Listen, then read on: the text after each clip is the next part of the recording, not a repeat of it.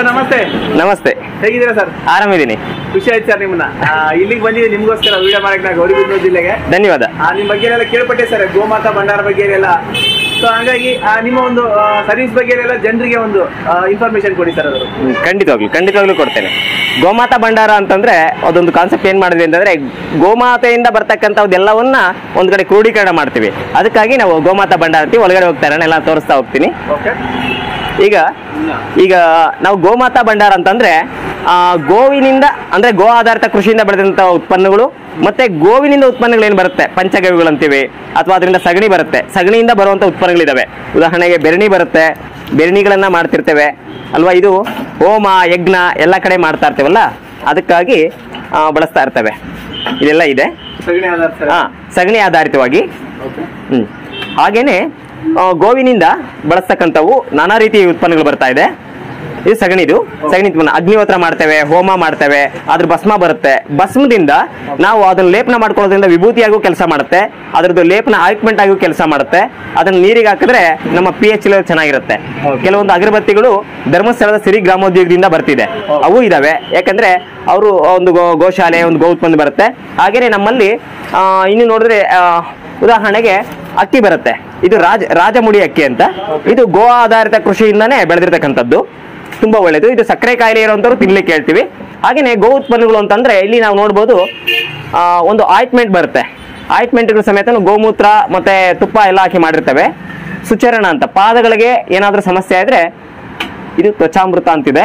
ಇದು ರಾಮಚಂದ್ರಪುರ ಮಠದಲ್ಲಿ ತಯಾರಾಗುತ್ತೆ. ಹಾಗೇನೆ ಸುತ್ತಮುತ್ತಲಿನ ಗೋಶಾಲೆಗಳಲ್ಲಿ ಏನೇನ್ ತಯಾರಾಗುತ್ತೆ ಎಲ್ಲವನ್ನ ನಾವು ತಗೊಂಡು ಗೋಶಾಲೆಗಳಿಗೆ ಒಂದು ಆರ್ಥಿಕವಾಗಿ ನಾವು ಬಲ ಕೊಡ್ತಾ ಇದ್ದೇವೆ. ನಾನಾ ರೀತಿ ಇದೆ. ತಲೆನೋವಿಗೆ ಪಾದಕ್ಕೆ ನೋವಾದ್ರು ಹಾಗೇನೆ ಈಗ ನಾವು ಉದಾಹರಣೆ ನೋಡ್ತಿರ್ತೇವೆ. ಮೆದುಳಿಗೆ ಸಮಸ್ಯೆ ಬಂದಾಗ ಮತ್ತೆ ಶ್ವಾಸಕೋಶ ಸಮಸ್ಯೆ ಇಷ್ಟೋ ಬರ್ತಾ ಇರುತ್ತೆ. ಅದಕ್ಕೆ ನಾಸಿಕ ಔಷಧಿಯಿಂದ ತುಪ್ಪ ನಾಟ್ಯಸಿನ ತುಪ್ಪವನ್ನು ಮೂರ್ ಮೂರ್ ಹನಿ ಮೂಗಲ್ಲಿ ಹಾಕಿದ್ರೆ ಆ ಸ್ಟ್ರೋಕ್ ಆಗಿರೋದು ಈ ಹೊರಗಡೆ ಬರುತ್ತೆ. ಅದೇ ತರನೇ ನಾವು ಪಂಚಗವ್ಯ ಘೃತ ಅಂತ ಮಾಡ್ತೇವೆ. ಈ ಪಂಚಗವ್ಯ ಘೃತ ಅಂತ ಏನಿದೆ? ಇದು ಒಂದು ಮುನ್ನೂರು ಕಾಯಿಲೆಗೂ ಹೆಚ್ಚು ಕೆಲಸ ಮಾಡುತ್ತೆ ಇದು. ಇದು? ಹಾ ಪಂಚಗವ್ಯ ಘೃತ ನಾಸಿಕ ಔಷಧಿ ಅಂತ.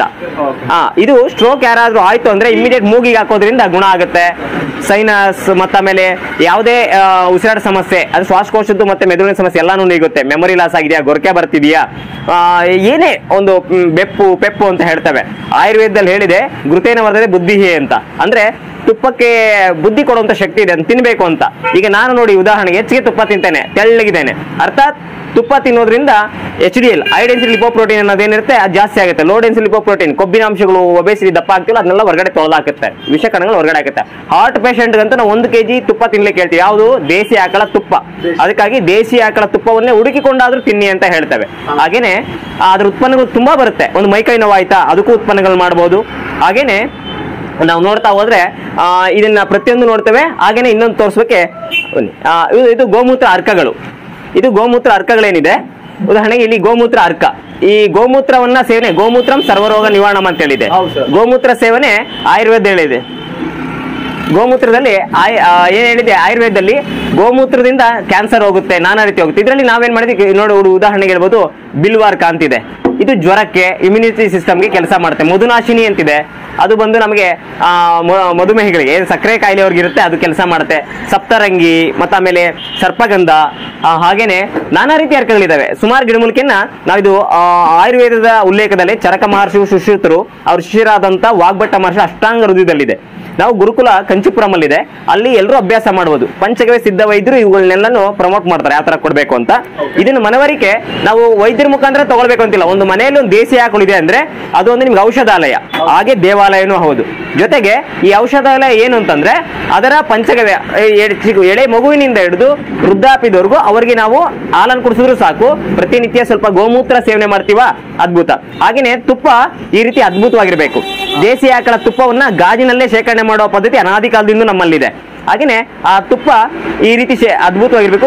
ಅದನ್ನ ವೇದಿಕ ಪ್ರಕಾರ ಮಾಡಬೇಕು. ಬೆಣ್ಣೆ ಮೊಸರು ಹಾಲನ್ನ ಸರಿಯಾದ ಸಮಯದಲ್ಲಿ ಹೆಪ್ಪ ಕಾಯಿಸಿ ಹೆಪ್ಪ ಹಾಕಿ ಮೊಸರು ಮಾಡಿ ಕಡಿದು ಹಾಗೇನೆ ಇದಕ್ಕೆ ಎಷ್ಟು ಪ್ರಮಾಣ ನೀರು ಹಾಕ್ಬೇಕು ಅನ್ನೋದಿದೆ. ಇದು ಮರಿಬಾರದು ನಮ್ಮಲ್ಲಿ. ಯಾಕೆಂದ್ರೆ ಕಾಶ್ಮೀರಲ್ಲಿ ಏನು ಹಾಕಲ್ಲ.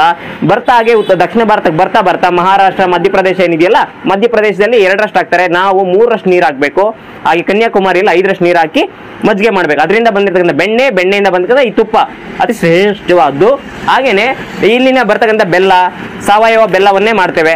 ಸಾವಯವ ಬೆಲ್ಲ ಗೋ ಆಧಾರಿತ ಕೃಷಿಯಿಂದನೇ ನಾವು ತರಿಸ್ತಾ ಇರ್ತೇವೆ. ಸಾವಯವ. ಬೆಲ್ಲ. ಹಾಗೇನೆ ಜನ ತಿನ್ಲಿಕ್ಕೆ ಉಪ್ಪನ್ನ ಯಾವ್ದು ಕೊಡ್ಬೇಕು ಅಂತ ಅಂದ್ಬಿಟ್ಟು ನಾವು ಹೇಳ್ತೇವೆ ಸೈಂದಲೋಣ ಹಿಮಾಲಯನ್ ಸಾಲ್ಟ್ ಅಂತ ಏನಿದೆ ಇವ್ರು ಕೊಡು. ಕೆಲವೊಂದು ನಾನಾ ರೀತಿ ಕಂಪ್ನಿಗಳಿದಾವೆ. ನಮ್ಗೆ ಎಲ್ಲೇ ಸಿಗ್ಲಿ ಬಳಸ್ಬೋದು. ಅದಕ್ಕೆ ಸಾವಯವ ಅಂತ ಅನ್ನೋದಕ್ಕಿಂತ ಅದು ಭೂಮಿಯಿಂದ ಮಣ್ಣಿಂದ ಬೆಟ್ಟದಿಂದ ತೆಗಿತಾರೆ. ಅದನ್ನ ಸಮುದ್ರದ ತೆಗಿಯಲ್ಲ.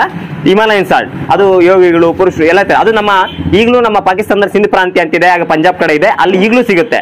ಅದನ್ನ ನಾವು ಬಳಸಬೇಕು ಅದು ನಮ್ಮ ಆರೋಗ್ಯಕ್ಕೆ ತುಂಬಾ ಒಳ್ಳೆಯದು ಹಾಗೇನೆ ಆ, ಮುಂದುವರ್ಸೋದ್ರೆ ಸಿರಿಧಾನ್ಯಗಳು. ಸಿರಿಧಾನ್ಯಗಳನ್ನ ಆರೋಗ್ಯದಲ್ಲಿ ಬಳಸೋದು ತುಂಬಾನೇ ಇದೆ. ಕಾದರ್ಜಿ ಕಾದರ್ವಲಿ ಅವರು ತುಂಬಾ ಹೇಳ್ತಿದ್ದಾರೆ. ಕಾದರ್ಜಿ ತುಂಬಾ ಅವರು ಡಾಕ್ಟರ್ ಆಗಿರೋದ್ರಿಂದ ಅದರಲ್ಲಿ ಎಷ್ಟು ಫೈಬರ್ ಕಂಟೆಂಟ್ ಇದೆ ಎಲ್ಲಾನು ಹೇಳ್ತಿದ್ದಾರೆ. ಅದು ನಿಜವಾಗ್ಲೂ ಸತ್ಯ ಅದು.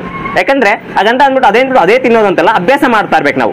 ಅಭ್ಯಾಸ ಮಾಡೋದು ಮತ್ತೆ ಇವೆಲ್ಲ ಗಾಣದ ಎಣ್ಣೆಗಳು ಗಾಣದ ಕಡಲೆ ಎಣ್ಣೆ ನಾವು ಇಲ್ಲಿನೇ ಸುತ್ತಮುತ್ತ ಇವು organic sir ಅಲ್ಲ? ಆರ್ಗ್ಯಾನಿಕ್ ಕಡಲೆ ಎಣ್ಣೆ. ಇದು ಧರ್ಮಸ್ಥಳದಿಂದ ಬರುವಂತ ಕೊಬ್ಬರಿ ಎಣ್ಣೆ.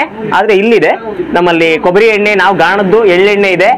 ಹಾಗೇನೆ, ಅವು ಏನು ಅಂತಂದ್ರೆ ನೇರ ಕಚ್ಚಾ ನಮ್ಮ ಹತ್ರ ಸಿಗ್ತಕ್ಕಂಥ, ರೈತರ ಹತ್ರ ಸಿಗ್ತಕ್ಕಂತ ಕೊಬ್ಬರಿ ಅಥವಾ ಕಡಲೆ ಎಣ್ಣೆ, ಎಳ್ಳು ತಗೊಂಡೋಗಿ ನಾವು ಮಾಡಿಸ್ತೇವೆ ಗಾಣದ್ದು. ಅದ್ರ ಹಿಂಡಿಯನ್ನ ಹಂಗೆ ಗೋಶಾಲೆಗಳಿಗೆ ನಾವು ಹಂಗೆ ಕೊಡ್ತಾ ಇರ್ತೇವೆ, ನಮ್ಮ ನಮ್ಮ ಗೋಶಾಲೆಗಳಲ್ಲಿ. ಅದೇ ರೀತಿಯಾಗಿ ಗೋ ಉತ್ಪನ್ನಗಳು ಈ ತರ ಇರ್ತದೆ. ಜೊತೆಗೆ ಗೋ ಉತ್ಪನ್ನಗಳು ಅಲ್ಲದೇನೆ ನಮ್ಮ ಸುತ್ತಮುತ್ತಲಿನ ಸುಮಾರು ಗೋಶಾಲೆ, ಒಂದು ಆರು ಆರು ಗೋಶಾಲೆಯಿಂದ ನಮಗೆ ಉತ್ಪನ್ನಗಳು ಬರ್ತಾ ಇದೆ.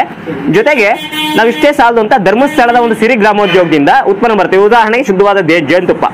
ಈ ಜೇನುತುಪ್ಪ ಏನಿದೆ, ಧರ್ಮಸ್ಥಳದಿಂದ ಕಳಿಸಿದ್ರೆ. ಧರ್ಮಸ್ಥಳದ ಕೆಲವೊಂದು ಉತ್ಪನ್ನಗಳು ಬರ್ತಿದೆ. ಅಂದ್ರೆ ಧರ್ಮಸ್ಥಳದ ಒಂದು ವೀರೇಂದ್ರ ಹೆಗಡೆ ಅವರು ಮತ್ತೆ ಹೇಮಾವತಿ ಅಮ್ಮ ಅವರು ಒಂದು ಒಳ್ಳೆ ಸೇವೆ ಮಾಡಿ ಅಲ್ಲಿನ ಸಿರಿ ಗ್ರಾಮೋದ್ಯೋಗದ ಬರ್ತಿರೋದ್ರಿಂದ ಆ, ಅವರಿಂದಾಗಿ ನಾವೇನ್ ಮಾಡ್ತಿದೀವಿ ಒಳ್ಳೆ ಉತ್ಪನ್ನಗಳನ್ನ ಅವ್ರದ್ದು ತರಿಸ್ಕೊಳ್ತಾ ಇದೀವಿ ನಮ್ಮ ಗೋಶಾಲೆದು ಬರ್ತಾ ಇದೆ.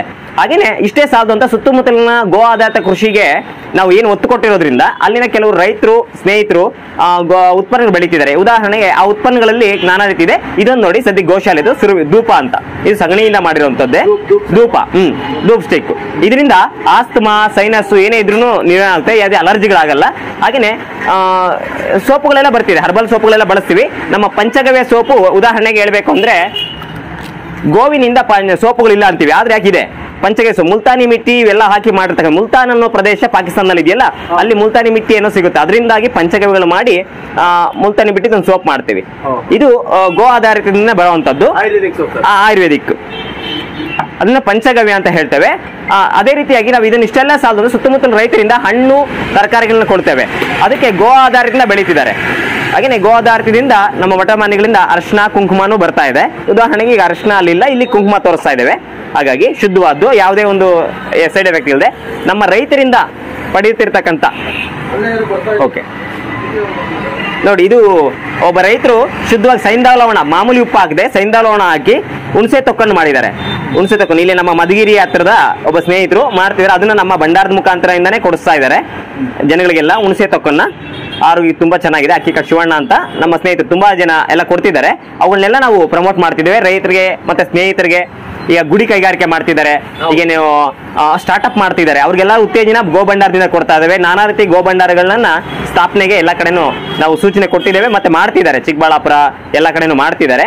ಹಾಗೇನೆ ನಾವು ಇಷ್ಟೇ ಸಾಧನೆ ರೈತರಿಗೆ ನಮ್ಮ ಸುತ್ತಮುತ್ತಲಿನ ಏನು ಆ, ಹಣ್ಣು ಮತ್ತೆ ತರಕಾರಿ ಬೆಳೆ ಕೊಟ್ಟು ಸಾವಯವವಾಗಿ ಅಂದ್ರೆ ಗೋ ಆಧಾರಿತ ಕೃಷಿಯಿಂದ ಜೀವಾಮೃತ ಘನ ಜೀವಾಮೃತ ಹಾಗೆ ಗೋಕೃಪಾಮೃತದಿಂದ ಬೆಳೀತಿದ್ದಾರೆ. ಅವುಗಳನ್ನ ನಮ್ಮ ಪಕ್ಕದಲ್ಲೇ ಇನ್ನೊಂದು ಗೋಭಂಡಾರದ ಇನ್ನೊಂದು ಭಾಗ ಆದಂತ ಹಣ್ಣು ತರಕಾರಿ ಮತ್ತೆ ಅದೇ ಅದರ ಪಾನೀಯ ಜ್ಯೂಸ್ಗಳನ್ನ ಕೊಡ್ಲಿಕ್ಕೆ ನಾವು ವ್ಯವಸ್ಥೆ ಮಾಡಿದ್ದೀವಿ. ಇವೆಲ್ಲರೂ ಸರ್ ನ್ಯಾಚುರಲ್ ಎಲ್ಲ. ನ್ಯಾಚುರಲ್ ಗೋ ಆಧಾರಿತ. ಗೋವಾ ಇದನ್ನ ಗೋ ಆಧಾರಿತ ಅಂತ ಕರಿಬೇಕಾಗುತ್ತೆ. ನ್ಯಾಚುರಲ್ ಆರ್ಗ್ಯಾನಿಕ್ ಅಂತಂದ್ರೆ ಸ್ವಾಭಾವಿಕವಾಗಿ ಬರ್ತಕ್ಕಂಥದ್ದು. ಆದ್ರೆ ಇವೆಲ್ಲಾನು ಗೋ ಆಧಾರಿತದಿಂದ ಬರ್ತಕ್ಕಂಥದ್ದು. ನೋಡ್ಬೋದು ರುಚಿಯನ್ನ. ಯಾಕಂದ್ರೆ ನಾವು ಪ್ರತಿಯೊಂದನ್ನ ನೋಡ್ತಿರ್ತೇವೆ.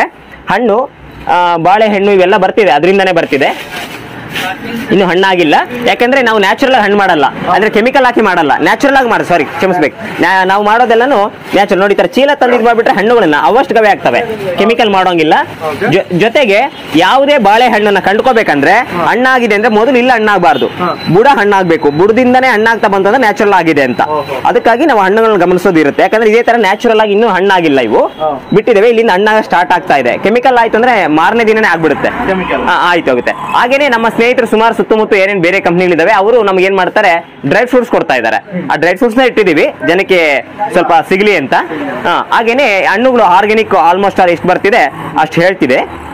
ಉದಾಹರಣೆಗೆ ಹೇಳಬೇಕು ಅಂತಂದ್ರೆ ಇವಾಗ ಆರ್ಗ್ಯಾನಿಕ್ ಆಗಿ ಬೆಳೆದಂತ ದಾಳಿಂಬೆ ಮತ್ತು ಮೂಸಂಬಿ ಅಲ್ಲಿ ಬರ್ತಿದೆ. ಆಪಲ್ ಮಾತ್ರ ನಾನು ನೇರ ಹೇಳ್ತೇನೆ. ಆಪಲ್ ಅನ್ನ ಕಾಶ್ಮೀರಿಂದ ಬರ್ತಿದೆ ಅಲ್ಲಿ ಆರ್ಗ್ಯಾನಿಕ್ ಅಂತ ನಮಗೆ ಅದು ಪುರಾವೆ ಇಲ್ಲ. ಆದ್ರೆ ಎಲ್ಲ ಕೆಲವು ಕೇಳೋದ್ರಿಂದಗೋಸ್ಕರ ಆಪಲ್ ತರಿಸಿದ್ದೇವೆ ಅಷ್ಟೇ. ಮತ್ತೆ ಕೆಲವೊಂದು ಪದಾರ್ಥಗಳನ್ನು ನಮ್ಗೆ ಏನ್ ಸಿಗ್ತಾ ಇದೆ? ಆರ್ಗ್ಯಾನಿಕ್ ನಮ್ಮ ಸುತ್ತಮುತ್ತಲಿನ ಯಾರು ಸಾವಯವ ಕೃಷಿಯಿಂದ ಬೆಳೀತಿದ್ದಾರೆ, ಅವ್ರದ್ದೇ ತರ್ತಾ ಇದ್ದೇವೆ.